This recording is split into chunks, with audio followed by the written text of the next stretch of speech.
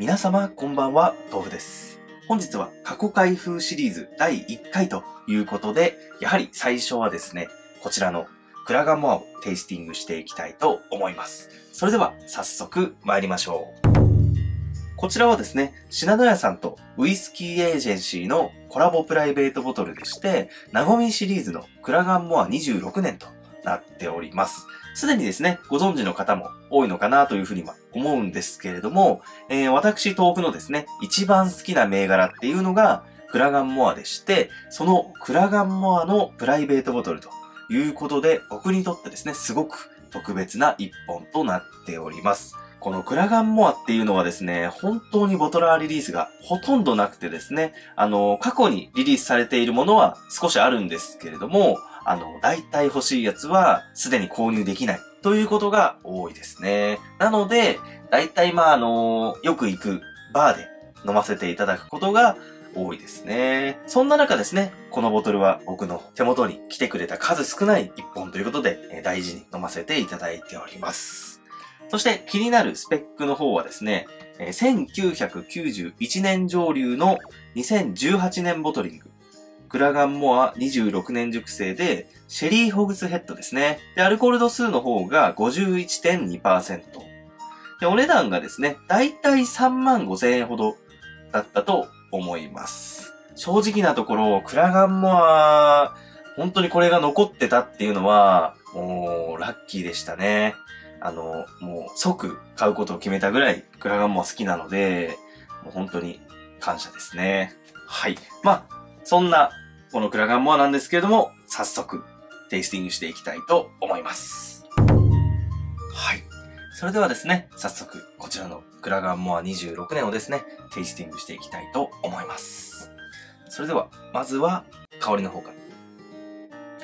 色がかなりいいんですよね。この濃くつきすぎてない感じ。シェリー、シェリーホグスヘッドなんですけど、多分リフィル系なんじゃないかなと思うんですよね。あんまりこう、しっかりはついてない感じ。この感じがいいですよね。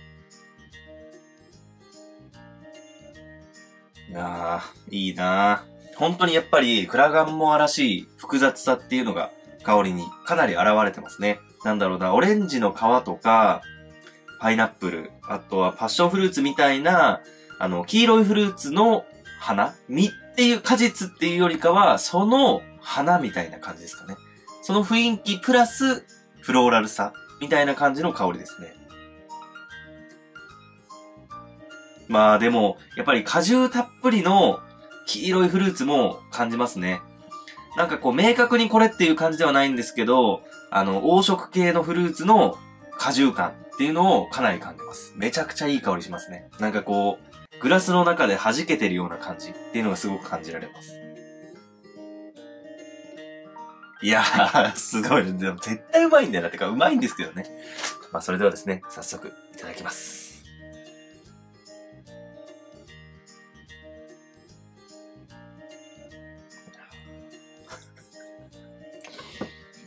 うま。うますぎる。やっぱりうまいっすね、クラガンモア。素晴らしいなもう何回飲んでもやっぱりこれは感動できる味わいですね。なんかこうやっぱり、優しい甘さなんですよね。蜂蜜の甘さとか、あの、ヒースっぽいような、なんか、ハイランドパークにも感じるような、そういう、ちょっとこう、ライトなヘザーっぽい感じも少し感じますね。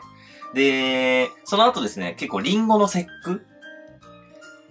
ですかね。なんかちょっと奮闘をかけたリンゴの節句かな。まあ、節句っていうのは、まあ、フランス料理の用語っていうか、あの、なんのかな？なんですけど、なんかこう、乾燥したみたいな意味で、あの、リンゴのチップスみたいなのとか、あの、そういう感じですかね。なんか、乾燥したリンゴみたいな。まあ、凝縮感が結構ある感じですね。なんかその、乾燥したリンゴのチップスをこう下に乗せて、あのー、なんですか。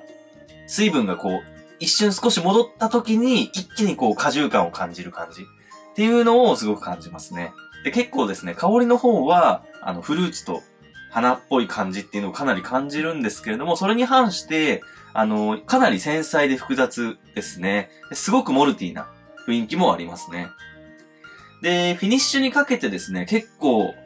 温かみがあって、なんかこう柔らかい感じの、あのー、八角系かな？八角系のスパイス、アニスシードとか、そういう感じの、えー、スパイスっていうのを感じますね。もうすごくうまい。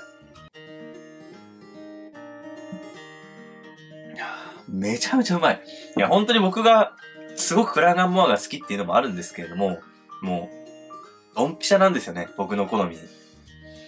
やー、うまいなこれはですね、もう、一員の価値ありなボトルかなというふうに思いますね。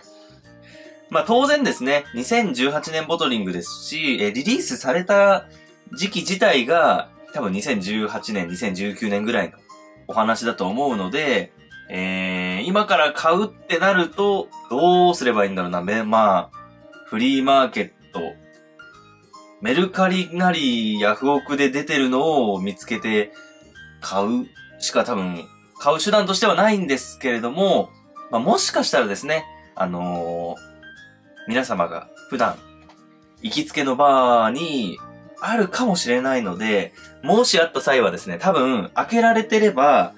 かなりもう、した、仕上がってんじゃないかなと。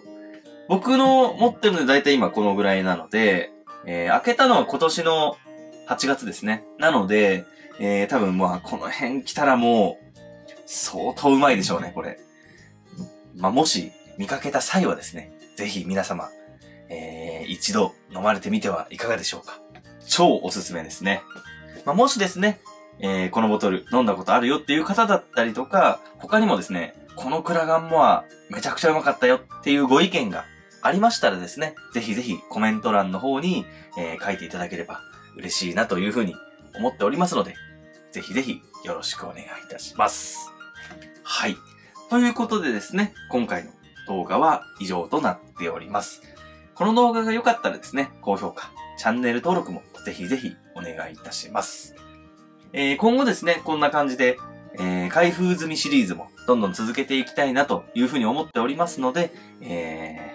ー、開封シリーズと開封済みシリーズ、えー、2本ですね、えー、どうぞよろしくお願いいたします。それではまた次回の動画でお会いしましょう。バイバイ。